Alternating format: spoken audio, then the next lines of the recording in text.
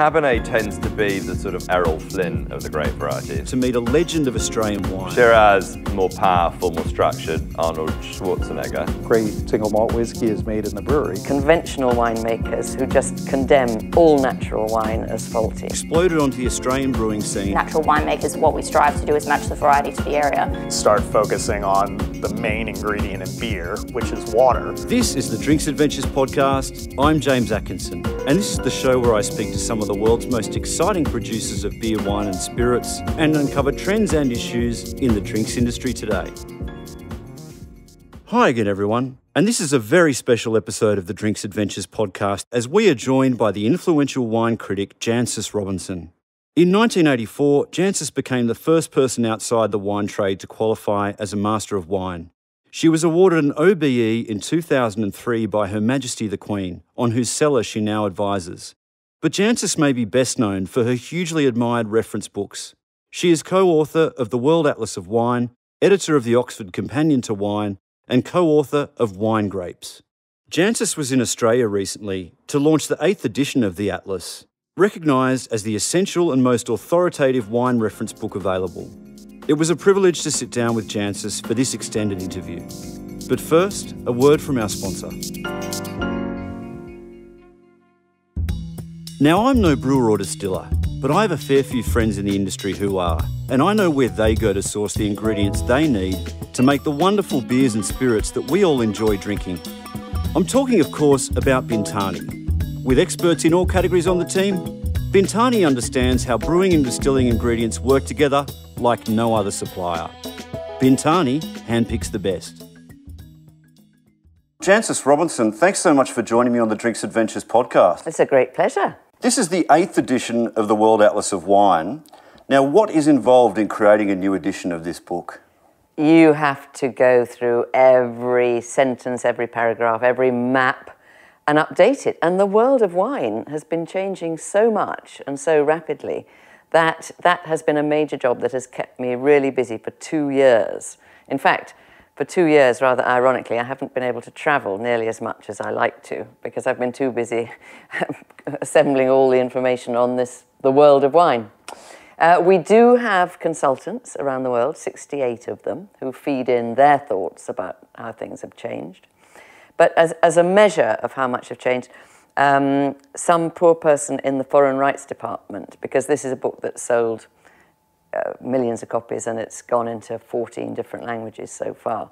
But for foreign rights purposes, she had to count up how many new words there were, and she calculated that 45% of the words in the eighth edition are brand new. So that's it's more than a cosmetic revision.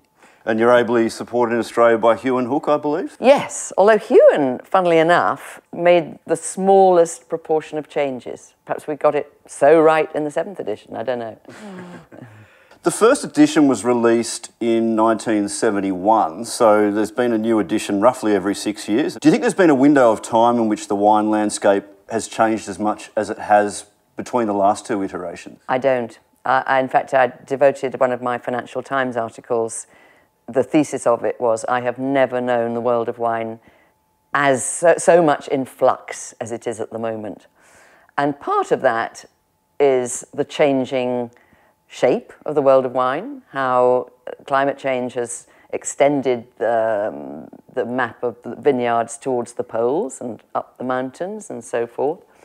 But perhaps even more interesting philosophically is that whereas in the 90s, everyone around the world was trying to make the same sort of wines, which were basically copies of France's most famous ones. And they were all growing Cabernet and Chardonnay and things like that. And they were chasing points, so they were making deep coloured, alcoholic, often rather oaky wines. Nowadays, there is no one idea of what good quality wine is.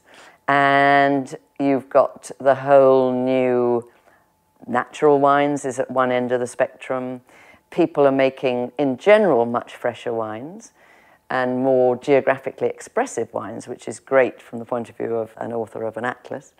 But you know, there is there is as many different notions of great wine, uh, almost as there are of consumers now, where which is much much more exciting, but it makes it quite challenging to get it all into a book. Now, you've touched on one of the trends that's covered in the new edition being natural wine and also orange wine, I believe you've explored. They've really swept the globe incredibly quickly, haven't they? They have. And in a way, that's very healthy because I think what it shows is that wine is of interest to a younger generation, but who want to have their own wine, their own, put their own stamp on wine. So the, the natural wine movement is, is very different from what you might call conventional wine. And I think if the natural wine movement hadn't come along, it might have been the case that a whole generation of potential wine drinkers would have been rather turned off by wine. It was something they associated with their parents and it didn't really move on at all. But it's a, a movement that is substantially owned by younger wine drinkers, which is not a bad thing. What about you? When you see a natural wine on a wine list, does that entice you to order it or is that possibly a deterrent? it's neither. And I would look first and foremost at the name of the producer and try and get a handle on whether I think it's going to have been well made or not. Sadly, I have come across a lot of badly made natural wines. And for instance, my colleague Julia Harding, a fellow master of wine, went and spent a day with Bordeaux's Centre of Wine Academe the other day. And the, the people she met there said virtually, we have no truck with natural wines. We're very worried about natural wines. We think a whole new generation of wine drinkers is being educated on the basis of faulty wine, and then they're not getting a, a decent education. They're getting a, a misconception about what how wine should taste. But of course, I got the impression that few of them had actually tasted natural wines, and they just automatically assumed that the, the one or two poor quality ones that they tasted were like all of them. I'm more, much more open-minded, and I, I do like well-made natural wines. I don't like wines whose only selling point is that they're natural and they aren't actually good. I think the proportion of well-made natural wines is going up all the time. But there is this particular compound which is associated with low sulfur, which is one of the attributes of natural wine, which to me smells like kind of hamster cage or mice or something like that. And apparently it's a compound that a third of the population can't sense at all. So my theory is that a lot of the natural winemakers are in that third of the population and aren't being put off the wines by this smell because they just physically can't smell it. For me, the sad thing about natural wine movement is the polarization. That you've got these conventional winemakers who just condemn all natural wine as faulty uh, without perhaps investigating very hard. And then you've got the naturalistas who think all conventional wine is evil and um, never the twain shall meet. But what I hope, because I know that conventional wine producers are using fewer and fewer additives in the winery, fewer and fewer nasty chemicals in the vineyard, so there, the, the conventionalistas are going in the right direction, and I hope that the standard of winemaking among the natural wine producers will continue to go up, so that eventually they will meet in the middle, and we may actually eventually dispense with the term natural wine, and all wine will be more quote-unquote natural than it is today, because that will be the healthy development.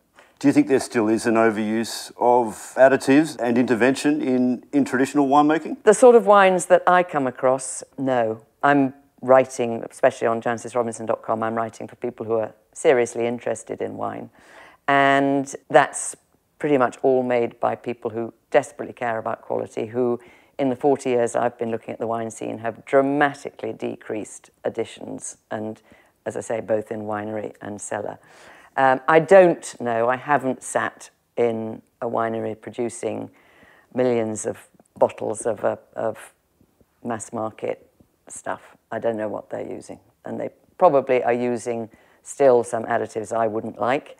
And I, particularly in, in um, America, they're kind of adding coloring and that kind of thing.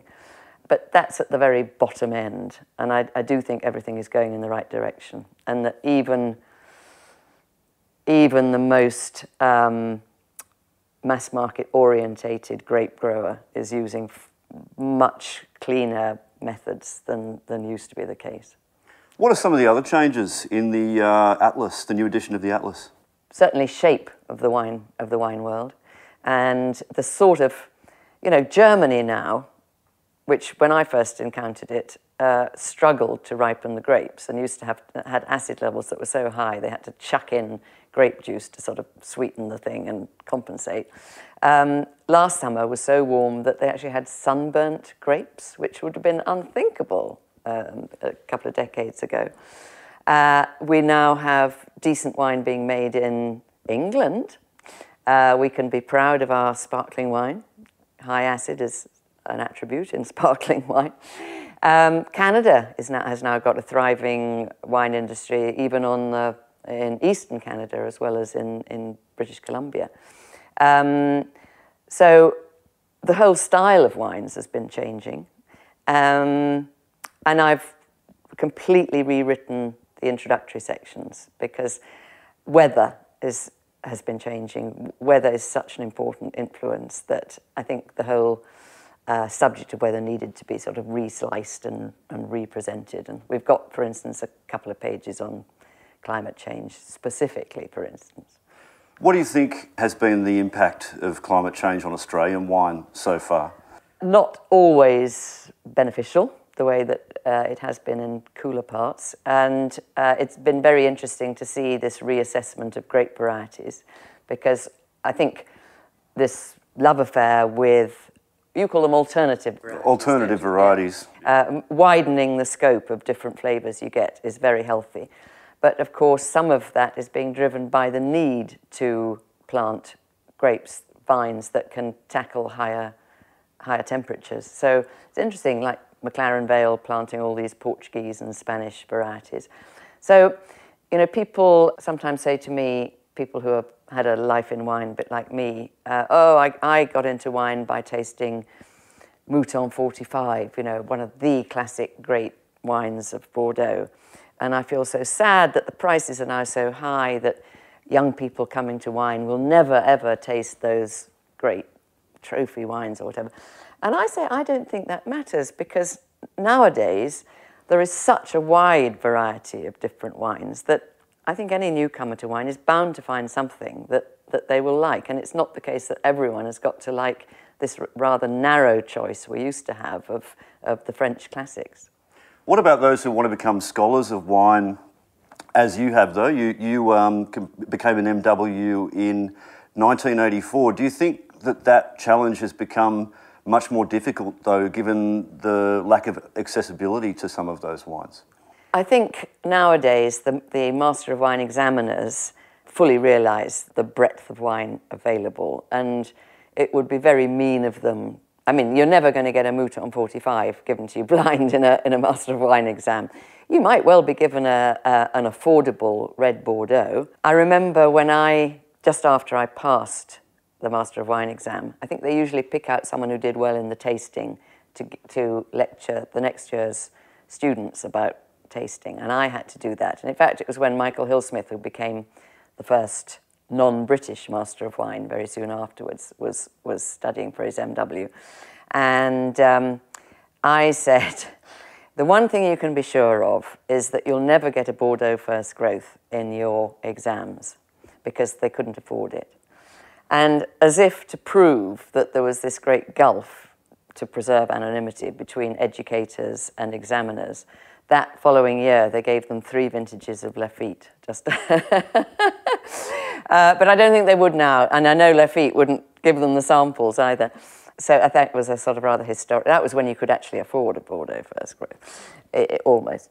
No, so I don't. I don't. I think that's okay. I think I do think, though, that the exam is more difficult to pass nowadays. It's not the case that the, the Institute of Masters of Wine want to make it more difficult. They, they want as many people as possible to pass, and they'll, they'll pass, they could pass 50 people in one, one year if, if they met the standards.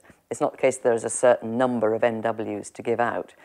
But the world of wine is so complex now, and what they're trying to do, I think, is keep up the standard relatively. I was really lucky to take it in 84 because then Australian wines tasted Australian. California wines tasted definitely Californian, you know. Whereas now, it, take a barrel fermented Chardonnay made anywhere in the world, there are very small differences between some of them, aren't there?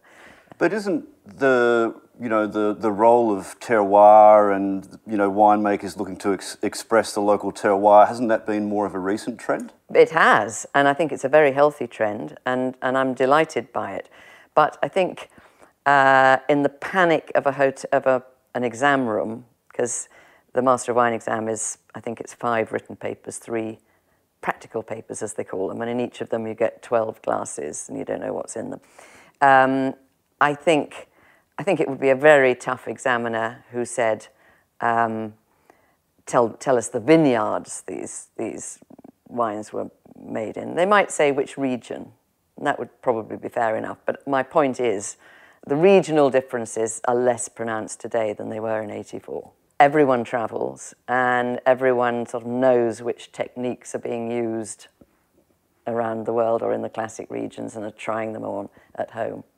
I read a quote from your publisher in your column that very few book publishing projects on the scale of the Atlas are still alive.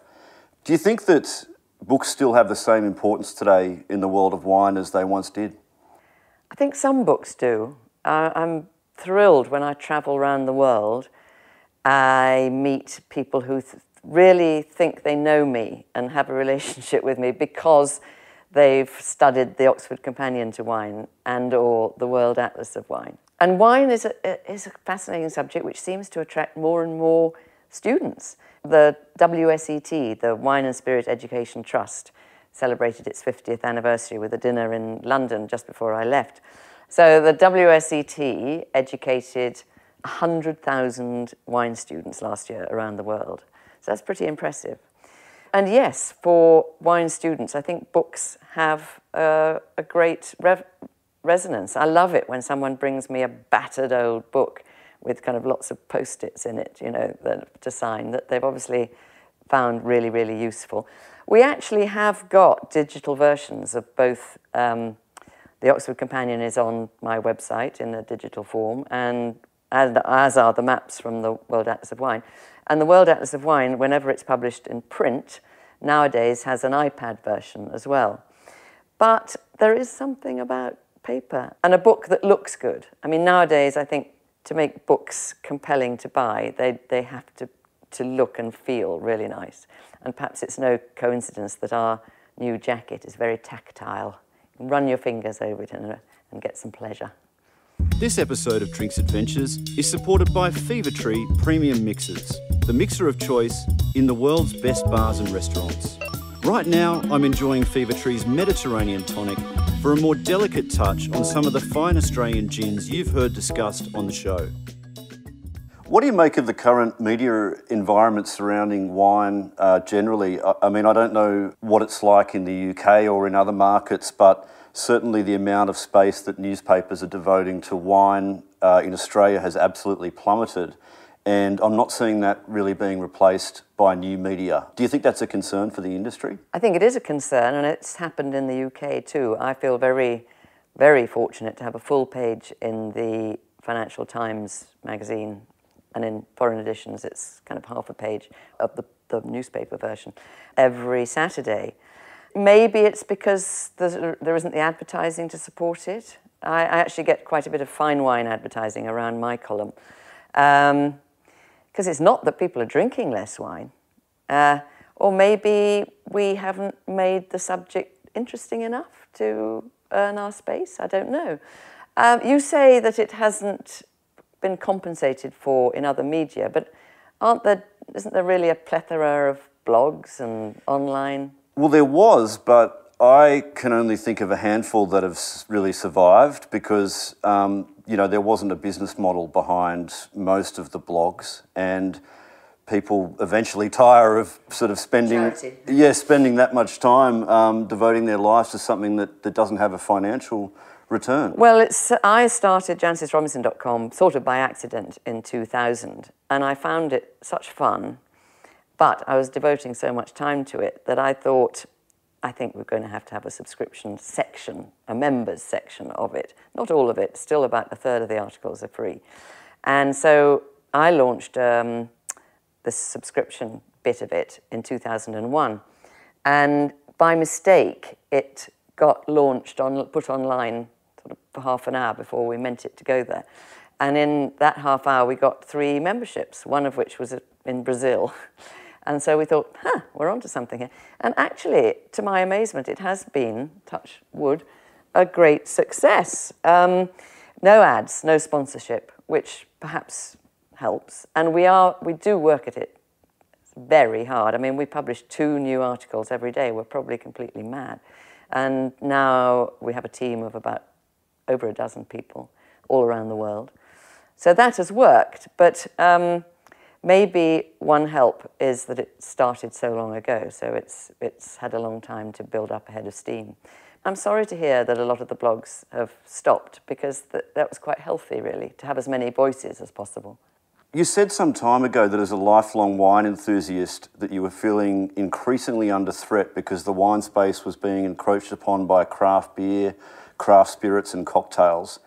Now that was three years ago, I think. Has wine held its own in that time? In the UK, for the first time in my life, wine sales are slightly shrinking in terms of uh, volume. People are drinking better, so uh, average prices per bottle are going up, nudging up, uh, although they're still incredibly low compared to most of the wine that maybe we would be interested in. Then no and low alcohol drinks, of course, are a huge growth area for obvious sort of health reasons. So I think we're work, having to work harder and harder to um, keep the wine flame really interesting. But once wine bites at somebody, then they do tend to get fairly interested and compulsive about it. It's fashion, isn't it? I mean, you know, I've been around so long, I've seen fashions come and go like sort of pendulums. But the threat, if you like, from other drinks is really keeping us on our toes, that's for sure. I've heard you say that you're always looking for value for your readers Absolutely. with the wines that you choose. What do you think, and I'm sure you get asked this question all the time, what do you think are some of the most underrated wine regions globally at the moment? Well, let's say underpriced, say, which is usually about the same thing as, as underrated. If you're looking for genuine value, I would say the Loire is still, with a few exceptions, sort of like cult wines, Clos Rougeard and stuff like that, uh, is underpriced. Beaujolais is a great place for Burgundy lovers to look uh, who can't afford Burgundy anymore. Prices are slowly nudging up there, but you can still get great value and including wines that are being made like Burgundy and will eventually turn into something remarkably like Burgundy if you hang on to them. Although personally, I'm a great fan of pure, early drinking, gorgeous, refined uh, Beaujolais.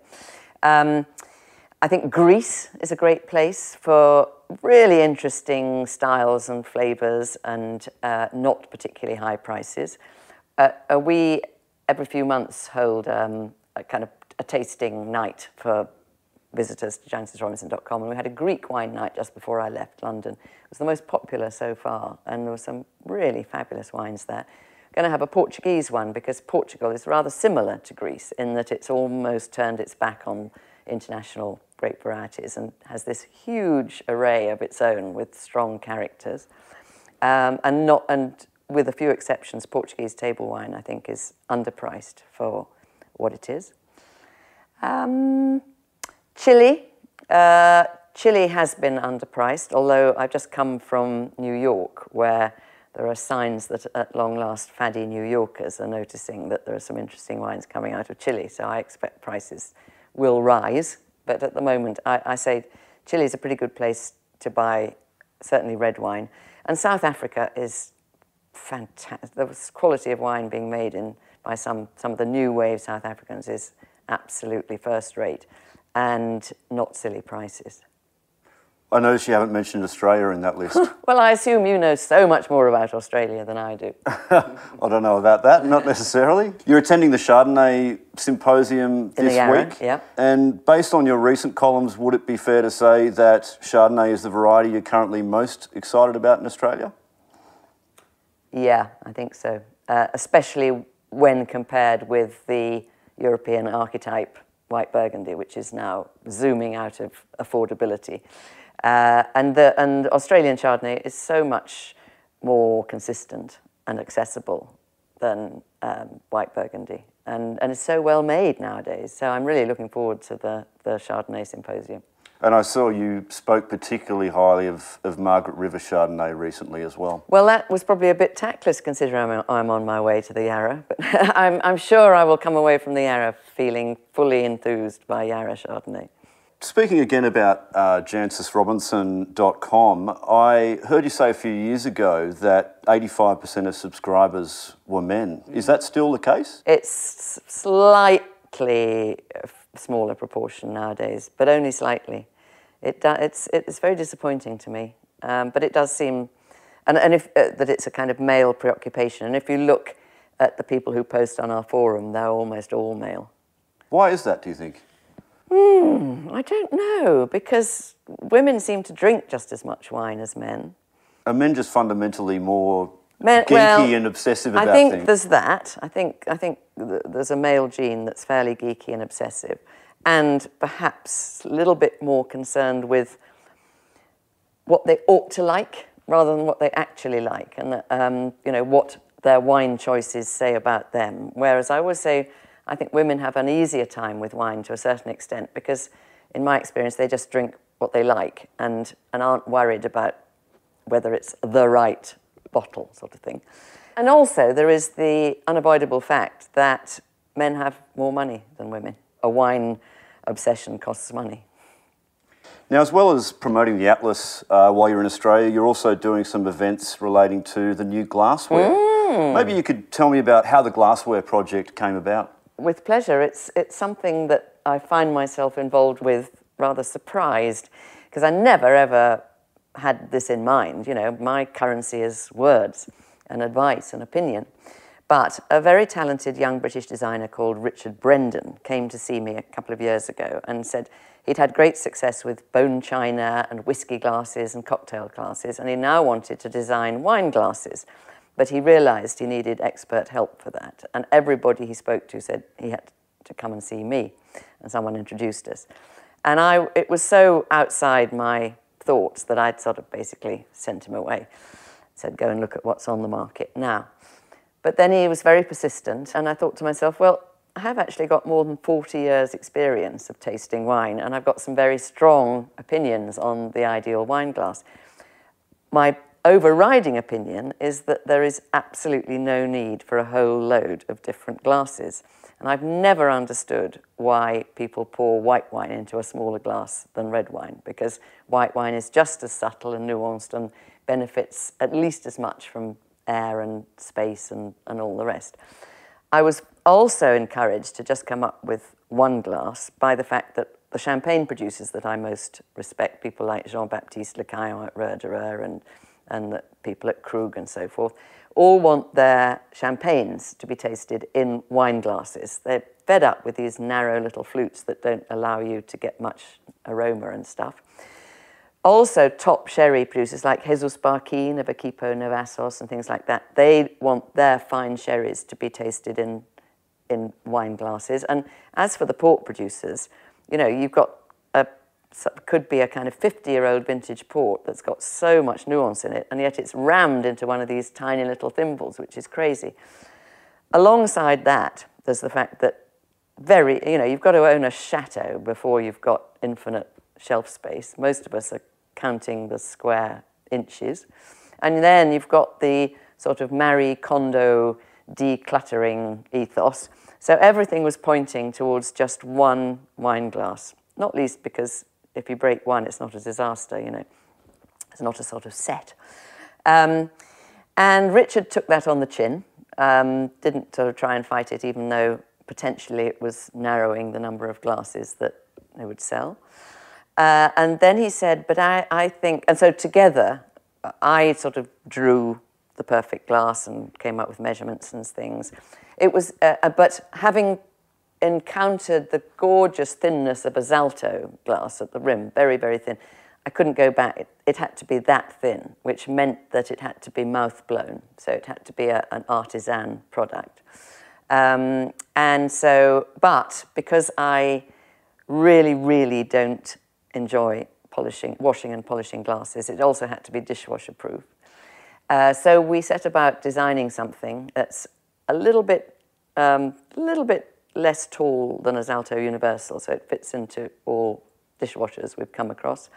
And the stem is a little bit wider, so it's less fragile there, which tends to be the sort of breaking point. And um, I was I was the sort of major um, designer of the bowl. Sort of, it's a more classical shape than the sort of angular Zalto, which I think looks fine in very uh, um, sort of Scandinavian or very modern settings, but not in all settings. But there's something about my shape which seems to encourage the aroma. And Richard has sort of refined the look of it. I think it looks gorgeous. It's very stable.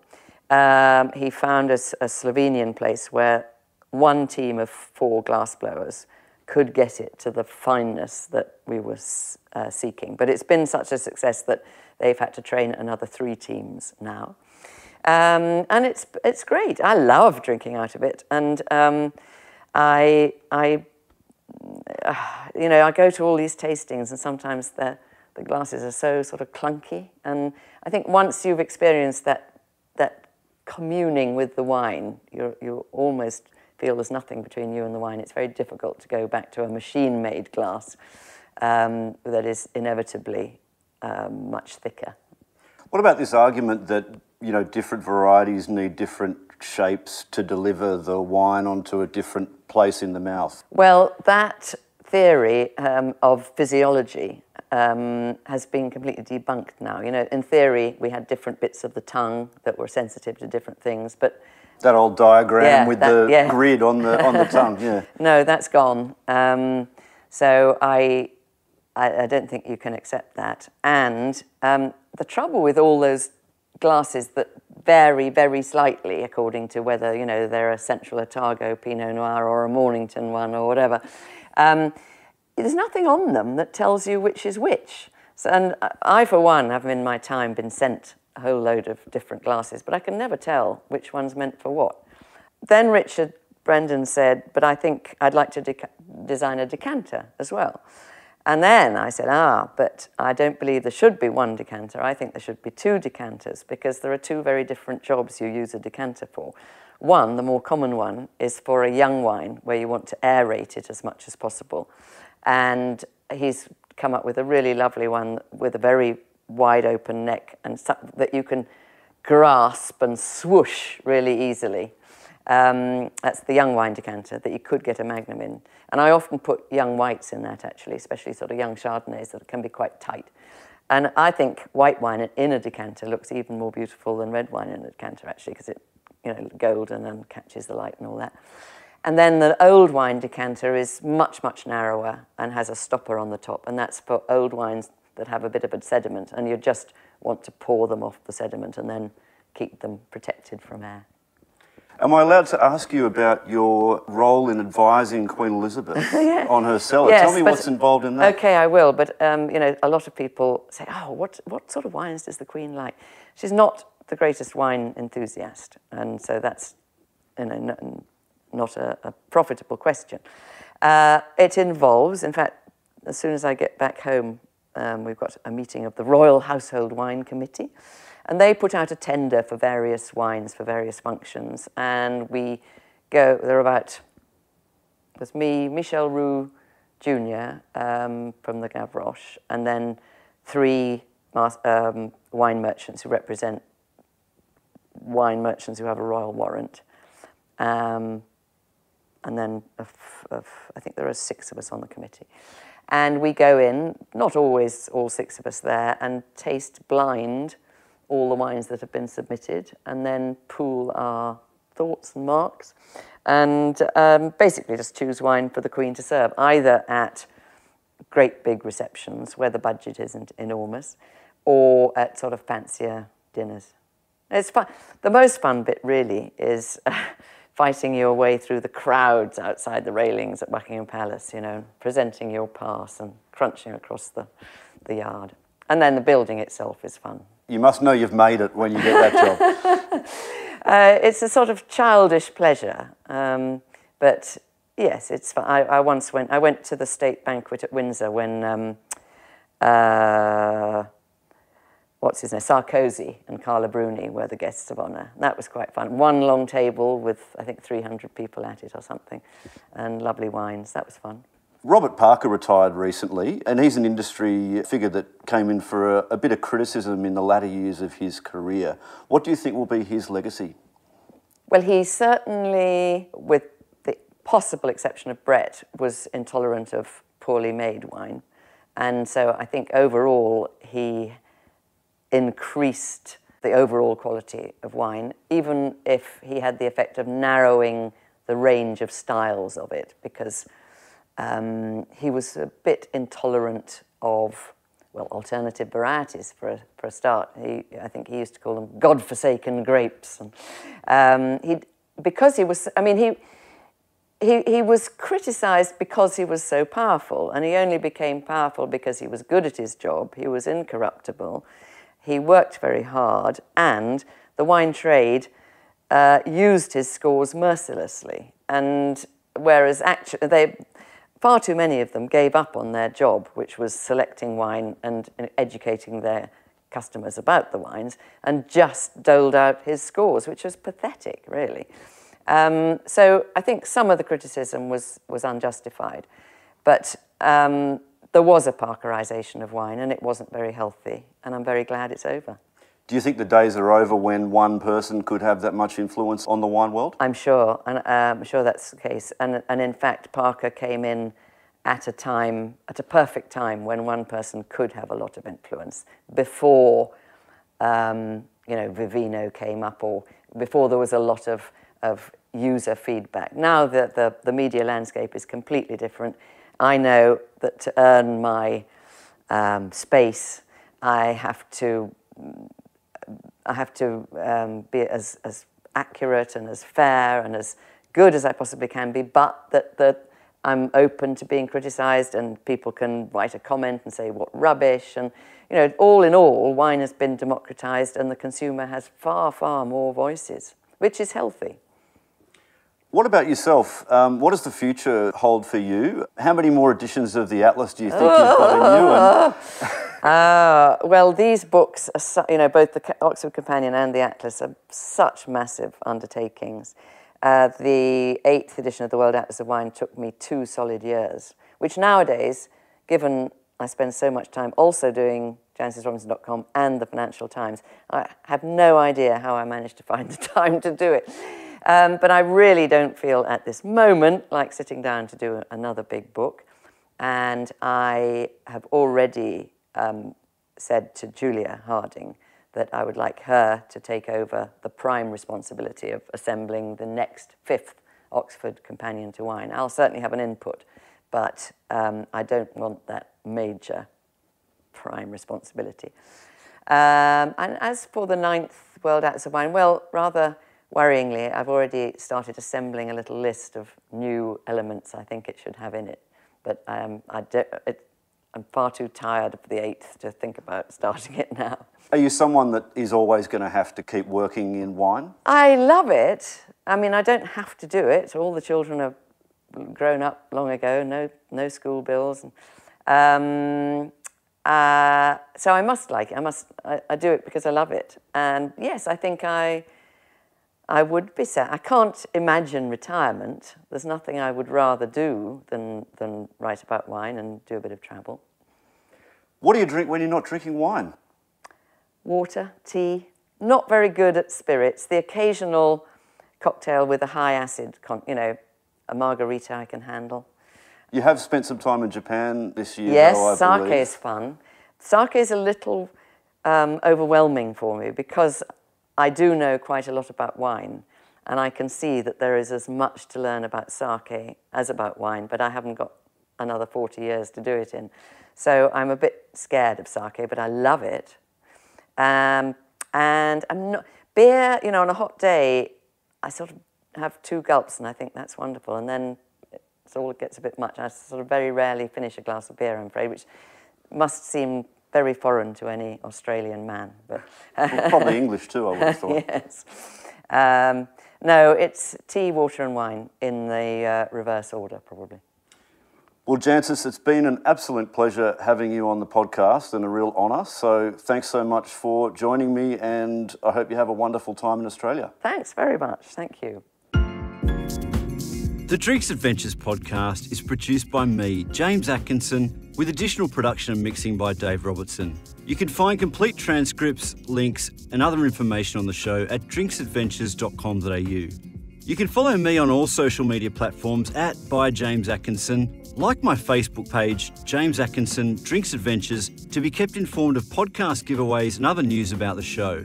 The Drinks Adventures podcast needs your support as listeners. Please do us a favour and leave an honest review and rating for the podcast on iTunes or Stitcher. We love hearing your feedback and it helps inform other people this is a show worth listening to. Or simply drop us a line at hello at drinksadventures.com.au.